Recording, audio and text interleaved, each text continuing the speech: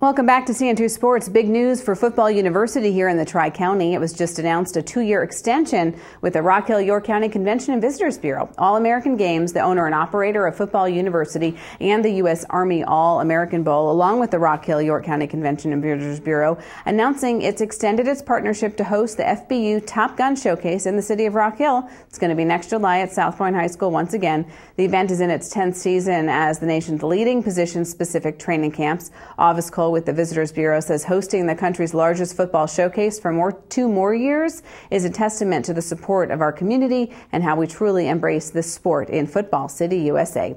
And of course, speaking of football, it's week zero for Friday Night Football, and here's who's taking to the field. Northwestern is at South Pointe, and it's our CN2 game of the week, which will start airing on CN2 Extra at 6 p.m. Saturday, if you can't make it out there tonight. Lancaster's at Indian Land, Rock Hill's at Blythewood, and Fort Mill is away this week in Spring Valley. Clover is also away at Ashbrook. So here, folks, football, it is back. And Chester High School will be at home facing against Westwood. Before the game, Chester will honor the 2007 championship football team. Coaches say 10 years ago, this team brought excitement, community togetherness, and extraordinary pride to the school and county.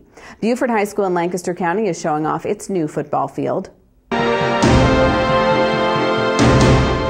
Some cool drone video. The school is starting installing that artificial turf in July and it's now complete. School leaders say the turf will mean players can use the field 24 7 without damaging the field. The same turf field at Andrew Jackson High School should be completed next week. The upgrades are part of the Lancaster County Schools District $199 million bond that voters passed back in March of 2016. You can check it out for yourself next Friday when the Buford varsity football team takes on Indian Land. That'll be August the 25th at 7:30.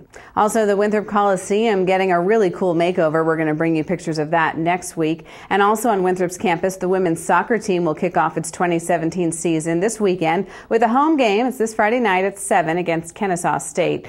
The Eagles are looking to rebound from a tough 2016 season where the team finished 4-12 and 1 overall. Well, if you are still searching for your solar eclipse glasses, it is getting a little harder. We told you about Palmetto Eye getting in 6,000 pair this week. Well, well, as of 2:30 today, they were actually sold out. We do know some schools are giving out glasses. Dr. Brian Coletto's eye office donated eclipse glasses to all the students at India Hook Elementary. Some other schools in Fort Mill may be coming home with some, and again, a number of functions, including the one being held at City Hall here in Rock Hill. It's being put on by the Rock Hill York County Library. There will be glasses to share there. So Again, get ready for that historic event Monday afternoon. It's going to be a big day. Have a great weekend, everyone. We'll see you back here Monday with a brand new newscast. Good night.